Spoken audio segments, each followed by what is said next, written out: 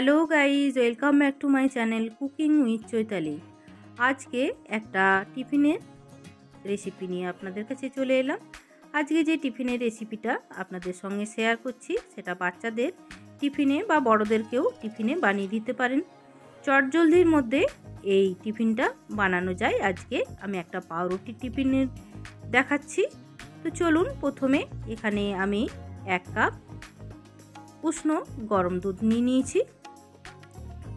এখানে গরম দুধের মধ্যে দিয়ে দেব। আমি এক চামচ চিনি দিয়ে দিচ্ছি।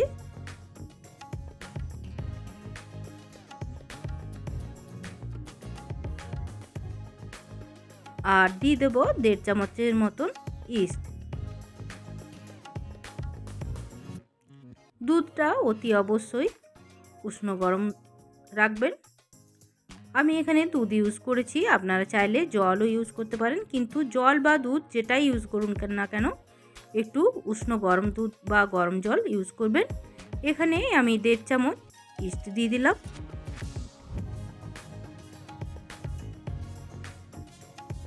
এরপর এটাকে কিছুক্ষণ ইস্টটাকে একটু ভিজানোর জন্য রেখে দিচ্ছি। কিছুক্ষণ পর ফিরে এলাম। দেখুন, ইস্টটা দুধের মধ্যে ভিজে গেছে। এরপর এর মধ্যে দিয়ে দেবো হাফ চামচের মতো নুন দিয়ে দেবো।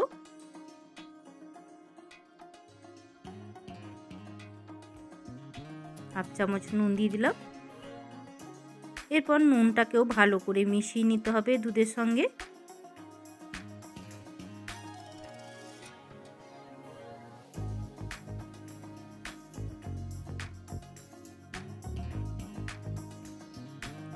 এরপর এর মধ্যে আমি দিয়ে দিচ্ছি দু কাপ ময়দা।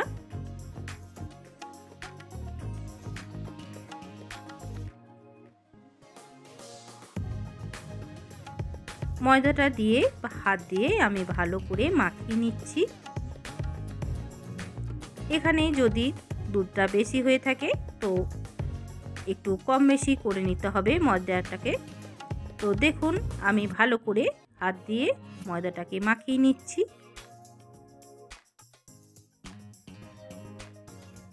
এইভাবে মাখিয়ে নিতে হবে। একটু নরমভাবে মাখিয়ে নিতে হবে। মাখিয়ে নিয়ে এটাকে আমি ঢাকা দিয়ে কিছুক্ষণ রেস্টে রেখে দেবো। এটা যদি আপনাদের করার থাকে, যদি সকালে এটাকে মাখিয়ে এভাবে রেখে দেন তাহলে কিন্তু বেশি ভালো হবে। তবে এটাকে চার থেকে পাঁচ ঘণ্টা রেখে দিলে খুব ভালো হয়। আর এটাকে রেখে দিলাম, এদিকে আমি পুরটাকে বানিয়ে দেবো আমি অল্প পরিমাণে তেল দিয়ে দিচ্ছি। তেলের মধ্যে আমি দুটো ডিম দিয়ে দিচ্ছি। এখানে আমি ডিম দিয়ে পাউরুটিটাকে বানাবো। আপনারা চাইলে চিকেন দিয়েও বানাতে পারেন। বা ভেজিটেবল দিয়েও বানাতে পারেন। এখানে আমি দুটো ডিম ইউজ করছি।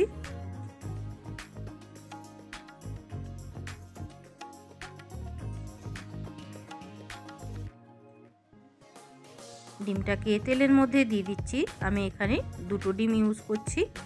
দু কাপের জন্য দুটো ডিমই যথেষ্ট। এরপর আমি এই ডিমগুলোকে একটু ভুজিয়া বানিয়ে নিচ্ছি। ডিমের ভুজিয়া বানিয়ে নেব। ডিমের মধ্যে দিয়ে দিচ্ছি পরিমাণ মতো নুন। এরপর ডিমটাকে ভালো করে নেড়ে চেড়ে একটু ভেজে নিচ্ছি।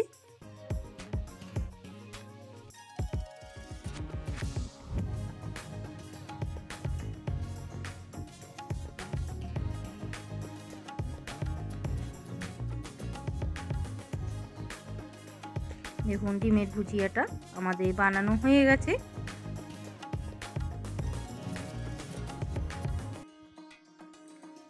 ডিমের ভুজিয়া কিন্তু বেশিক্ষণ ভাজার প্রয়োজন নেই। জাস্ট একটু আমি নেড়ে চেড়ে এরপর এটাকে নামিয়ে নেব।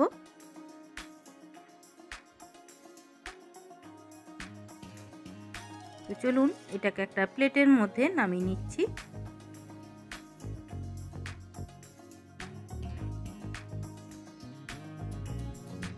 এরপর ওই একই প্যানের মধ্যে আমি অল্প পরিমাণে তেল দিয়ে দিচ্ছি। এক চামচের মতন তেল দিয়ে দিলাম। এরপর আগের থেকে আমি দুটো মিডিয়াম সাইজের পেঁয়াজকে কুচিয়ে রেখেছিলাম। পেঁয়াজ কুচানোটাকেও দিয়ে দিলাম তেলের মধ্যে।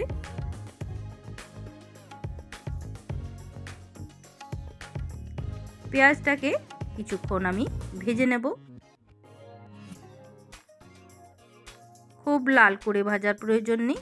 আমি কিছুক্ষণ পেঁয়াজটাকে জাস্ট একটু ব্রাউন কালার হয়ে গেলেই আমার ভাজা হয়ে যাবে পেঁয়াজটা। আর বেশি তেলেরও প্রয়োজন নেই।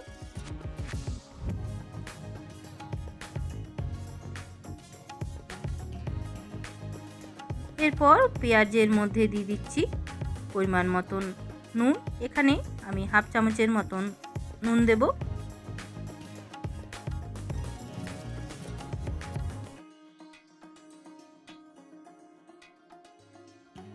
নুনটা দিয়ে আরও কিছুক্ষণ পেঁয়াজটাকে ভেজে নিচ্ছি।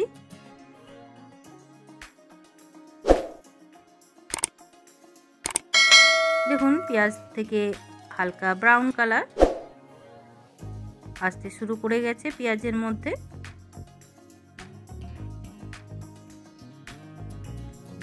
এরপর এর মধ্যে দিয়ে দেব দু চামচের মতো টমেটো সস।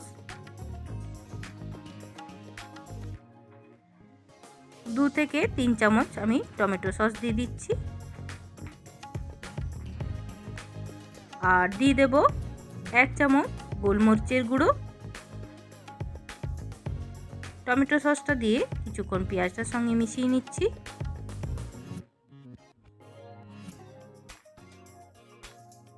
এরপর এর মধ্যে দিয়ে দিচ্ছি যে ডিমের ভুজিয়াটাকে ভেজে রেখেছিলাম। ডিমের ভুজিয়াটাকে দিয়ে দিলাম। পেঁয়াজটার সঙ্গে ভালো করে ডিমের ভুজিয়াটাকে মিশিয়ে নিতে হবে।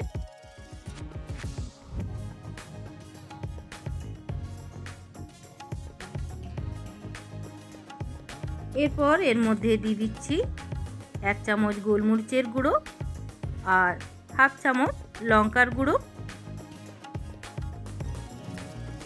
আর দিয়ে দিচ্ছি হাফ চামচ লঙ্কার গুঁড়ো। এরপর গোলমরিচের গুঁড়ো আর লঙ্কার গুঁড়োটাকে ভুজিয়াটার সঙ্গে ভালো করে মিশিয়ে নিতে হবে। আমাদের পুরটা রেডি হয়ে গেছে। আমি গ্যাসটাকে অফ করে দেবো এরপর। আমাদের পুর রেডি হয়ে গেছে।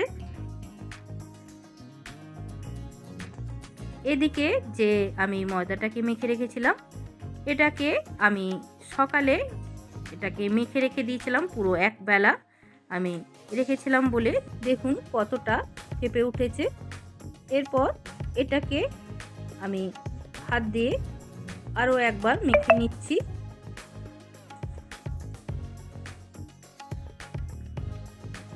যত এটা ভালো করে ইস্টা ফেপে যাবে, তত কিন্তু আমাদের পাউরুটিটা ভালো হবে।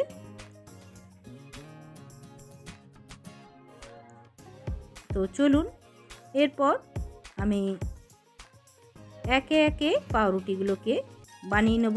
একটা প্লেটের মধ্যে অল্প ময়দা ছিটিয়ে দিচ্ছি।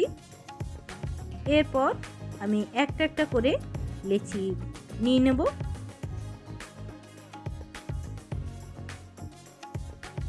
এরপর আমি এই পরিমাণ আমি ময়দাটাকে নিয়ে নিচ্ছি। দেখুন হাতে যদি লেগে যায়, তো হাতের মধ্যে একটু ময়দা বা আটা নিয়ে নেবেন। তাহলে দেখবেন হাতের মধ্যে আর লাগবে না। এরপর এইভাবে পুরটাকে দিয়ে দিচ্ছি। পুরটাকে দিয়ে ভালো করে এইভাবে মুড়ে নিতে হবে।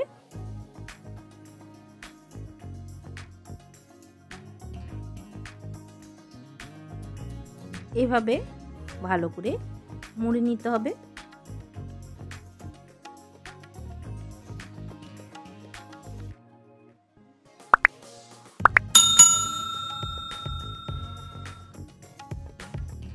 এভাবে হাত দিয়ে আমি একটু গোল শেপ দিয়ে দিচ্ছি। এভাবে আর একটা আমি ওই একইভাবে দেখিয়ে দিচ্ছি।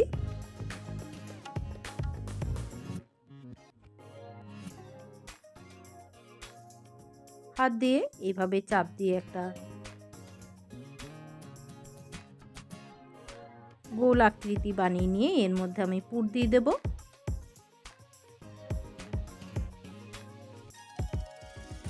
পুরটাকে দেওয়ার পর ভালো করে মুড়ে নিতে হবে। তো দেখুন, আমার বানানো হয়ে গেছে। এরপর আবারও একটা কড়াই বসিয়ে নিয়েছি। কড়াইয়ের মধ্যে তেল দিয়ে দিয়েছি। তেল গরম হওয়া পর্যন্ত আমি অপেক্ষা করব। দেখুন, তেলটাও গরম হয়ে গেছে। এরপর একে একে আমি পাউরুটিগুলোকে ভেজে নিচ্ছি। আপনারা চাইলে তেলের মধ্যেও ভাজতে পারেন বা বেক করেও নিতে পারেন। এখানে আমি তেলের মধ্যে ভেজে নিচ্ছি।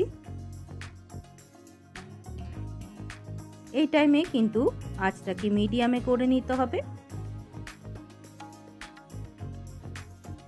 আমি আঁচটাকে কমিয়ে দিলাম। এরপর এগুলোকে উল্টে উল্টে যতক্ষণ না ডিপ ব্রাউন কালার আসছে ততক্ষণ আমি কিন্তু ভেজে নেব। তেলের মধ্যে দেওয়ার পর এগুলো কিন্তু আস্তে আস্তে ফুলতে থাকবে। আমরা যে সাইজ নিয়েছিলাম তার থেকে কিন্তু একটু সাইজ বেড়ে যাবে। আমি একটু করে উল্টে নিচ্ছি যাতে একটা সাইড খুব না পুড়ে যায়, না হলে কিন্তু ভেতরটা কাঁচা থাকবে। এইভাবে উল্টে উল্টে আমি কিছুক্ষণ ভেজে নেব যতক্ষণ না ডিপ ব্রাউন কালার আসছে, ততক্ষণ আমি এভাবে পাউরুটিগুলোকে ভেজে নিতে থাকব।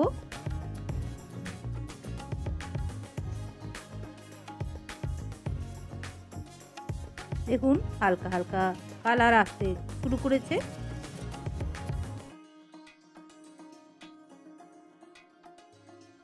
আঁচটাকে আমি আর একটু কমিয়ে দিলাম।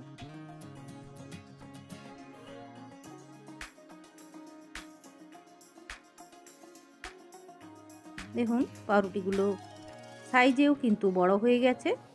আর কালারটাও দেখুন কত সুন্দর এসে গেছে।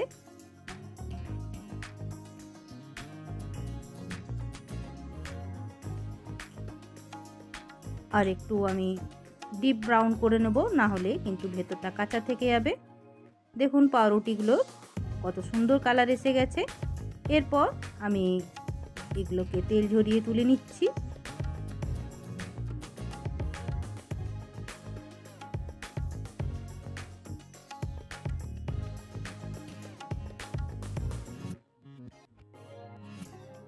আরও যে কটা আছে, আমি এই তেলের মধ্যে ভেজে নেব।